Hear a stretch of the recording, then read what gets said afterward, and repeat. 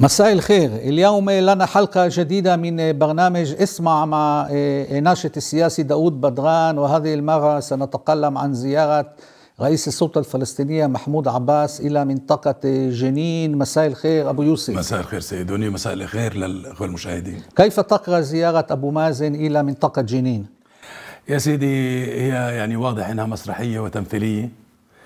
بتمثل للأسف ليس فقط السلطة الفلسطينية من شارك في هذه التمثيلية هناك عناصر أخرى. جميع من اجتمع في العقبة شارك في هذه الزيارة. الأردن قامت بإرسال طائرة. مصر قامت بالتنسيق مع حماس والجهاد الإسلامي على ضبط عناصرها خوف من حدوث أي حدث أو أي حتى تمر الزيارة بسلام.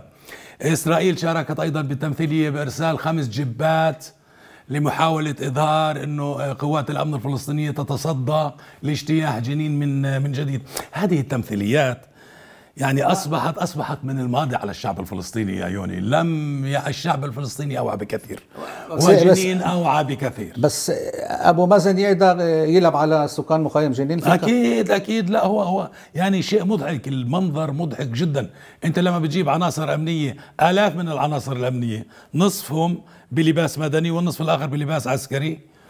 ويعني وكأنك أنت قائد محرر محرر جنين. يعني هذا كلام يعني الكل فاهمه والكل شايفه. للأسف السلطة الفلسطينية ترفض أن يكون الشعب الفلسطيني كالأنهار يتجدد مياهه تتجدد وهي تريد أن يكون الشعب الفلسطيني وقيادة الشعب الفلسطيني عبارة أو النظام السياسي الفلسطيني عبارة عن بركة يبقى تبقى بها نفس المياه حتى تتعفن وتفسد وتخرج رائحتها. وهذا ما يحدث الآن. فكرك هذه زيارة تساعد أبو مازن أنه يبني صورته من جديد في الشارع الفلسطيني؟ أكيد لا أكيد أبو مازن أول شيء هو فاقد للشرعية يعني لا شرعية لأبو مازن. وكل من حول أبو مازن سواء الزمرة اللي حواليه أو الدول اللي بتساعده بما فيها حكومة إسرائيل لن تنجح في إعطاء أبو مازن شرعية على هذه الأرض. نقطة سطر جديد. أبو مازن طلب من إسرائيل عدم دخول الجيش الإسرائيلي منطقة إلى منطقة جنين لكي تعطى الفرصة لقوات الأمن الفلسطينية بإعادة النظام في مدينة جنين والمخيم وهو قال إسرائيل أنا بدي أنفذ مرحلتين المرحلة الأولى اعتقال المسلحين في مدينة جنين ومن ثم أنتقل إلى مخيم جنين للاعتقال الباقي هل فكرك سينجح؟ أعتقد أنه أمام أبو مازن خيارين. الخيار الأول أن يقوم بمهاجمة المخيم ومحاولة اعتقال المقاومين أو القضاء عليهم. وأستبعد أن ينجح في ذلك لأنه في في هذه اللحظات إن حدثت أعتقد إنه الشعب الفلسطيني سيتحرك في كل الأماكن، لن تبقى المشكلة في جنين، ستنتشر إلى نابلس والخليل والقدس وباقي المدن الفلسطينية، أعتقد لن يغامر لن يغامر في في في هذا الخيار. ولكن قد يكون هناك أن يتواصل مع حماس ويتواصل مع الجهاد ومحاولة تهدئة الأوضاع وإيجاد حلول وسط. مثال حماس والجهاد حاليا تطلب من أبو مازن الإفراج عن المعتقلين السياسيين، قد يقبل أبو مازن مقابل تهدئة مؤقتة، أبو مازن حاليا بس حماس بتوافق على وقف المقاومة أو الجهاد الإسلامي بيوافق على ذلك؟ شوف عندما تلتقي المصالح، أنا واقعي أنا سياسي واقعي جدا، عندما تلتقي المصالح كل شيء ممكن. الإفراج عن المعتقلين السياسيين أحد شروط الجهاد ووقف التنسيق الأمني؟ ووقف التنسيق الأمني. أبو مازن بالضبط وقف التنسيق الأمني 1500 مرة ولكن عمليا التنسيق الأمني هو مش بإيد أبو مازن هو مجبر عليه وهي رغبة أبو مازن أيضا. فمش بإيد أبو مازن وقف التنسيق الأمني. أبو مازن موجود بسبب التنسيق الأمني. لو لم يكن التنسيق الأمني موجود لما كان أبو مازن رئيس للسلطة الفلسطينية. طيب أبو يوسف بدنا نطلع إلى فصل صغير ونرجع بعد ذلك إلى نفس الموضوع. شكرا لك شكرا تمام لك تمام.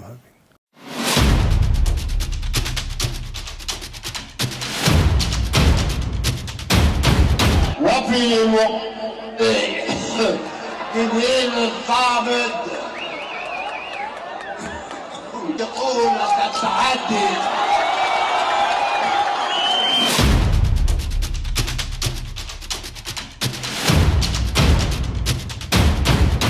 نعود الآن إلى المقابلة مع ناشط السياسي داود بدران حول زيارة أبو مازن إلى منطقة جنين. أريد أن أسألك أبو يوسف محمود عباس دعا كل الفصائل الفلسطينية إلى مؤتمر وطني في القاهرة في نهاية الشهر الجاري لإجراء المصالحة آه، الوطنية. كيف آه، تقرأ هذه الدعوة؟ وهل فعلا آه، توافق الفصائل الفلسطينية على ذلك؟ أول شيء دائما عندما يكون أبو مازن في الزاوية يدعو إلى الحوار الوطني ويدعو إلى المصالحة. يعني أصبح كل عام مرتين يعني رح صرت أنا أسميها رحلة الشتاء والصيف. بس شو الهدف تبعه؟ اللي ابدا هو هو بوضع آه، يريد أن يضفي شرعية على وجوده. يريد أن يظهر للعالم وخاصة للإدارة الأمريكية التي بدأت تشكك في مصداقية آه، السلطة الفلسطينية. أبو آه، بايدن قبل يومين. أعلن إنه ما في مصداقية لدى السلطة الفلسطينية. أنا في اللقاء السابق يوني حكيتها إنه مع مرور الوقت ستفقد السلطة الفلسطينية الشرعية الدولية وهذا ما يحدث حاليا. أبو مازن بيحاول من خلال زيارته لجنين. آه، أبو طبعا بالتنسيق مع الدول المشاركة في مؤتمر العقبه آه. حول حول المؤامره هو مؤتمر شرم الشيخ. بالضبط. آه، قبل فترة كان أقل من شهرين. كان في مؤتمر المصالحة بالجزائر. اختفى. هم بيروحوا بيعملوا هالمؤتمرات وانتهى الموضوع. تي تي تي تي بتقولوها لا؟ تي تي تي. الشعب الفلسطيني أصبح يقرأ فكر وخارطة السياسية للسلطة الفلسطينية. السلطة الفلسطينية كل هذه بس حماس والجهاد الإسلامي بيقبلوا يروحوا للقاهرة يلتقوا معاه مع أبو مازن على على نفس السيناريوهات والأفلام المحروقة يعني أصلا. أنا بعتقد أن أبو مازن في وضع صعب جدا. أبو مازن يعني آه، الأفضل له وللحفاظ على ما تبقى له من كرامة عليه الرحيل. علي الرحيل. آه هو بس هو مش ناوي الرحيل هو رايح على رايح على القاهرة. شو بده يك يعني الفصائل الفلسطينية بتشارك في هذه المسرحية؟ هذا السؤال يعني. الفصائل الفلسطينية لديها شروط لأنها تعلم أنه أبو مازن في وضع ضعيف جدا وأبو مازن يبحث عن شرعية حاليا. هو يعلم أنه فاقد الشرعية.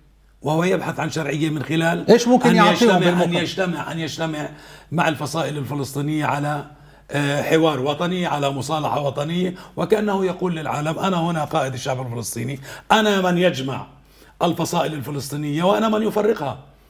هذا اللي بيسعى له ابو أبو شو ممكن مازن. تستفيد منه الفصائل الفلسطينية؟ أنا ما بتوقع إنه الفصائل الفلسطينية راح تكون بهذه السذاجة، هم يعني عارفين بالضبط أبو مازن ولديهم خبرة في التعامل مع أبو مازن وأسلوب أبو مازن. آه، أبو مازن كما قلت آه، لك يوني هو عم يبحث عن الشرعية المفقودة. أو هي ما كانت أصلا موجودة حتى تفقد ولكن هو يبحث عن شرعية حاليا خاصة بعد ما فقدها أمام العالم جميعا هو يعلم ذلك. شو الخطوات المقبلة لأبو مازن بعد إذا فشل مثلا اجتماع القاهرة؟ أنا كمان مرة بحكي لك أبو ماجد أبو مازن لدي خيارين. أما الرحيل وهو أكرم له وأشرف له أو آه، يقوم بمغامرة آه، مهاجمة آه، المقاومين سواء في نابلس أو سواء في جنين. وهذه مغامرة أنا بتوقعه لا, لا, لا, لا يستطيع القيام بها. يعني يعني مغامرة صعبة جدا. هون أنا بعتقد أنها بتكون نهايته. نهايته نهاية الزمرة تبعته.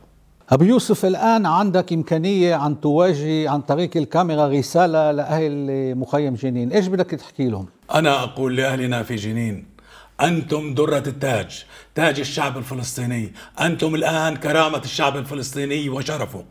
من أجل هذه الدماء التي أريقت هذه الدماء الطاهرة التي أريقت في مخيم جنين لا تنطوي عليكم هذه المسرحيات. هذا الدم هذا الدم المحراك هو منابع النور التي تضيء للعرب والمسلمين والفلسطينيين الطريق.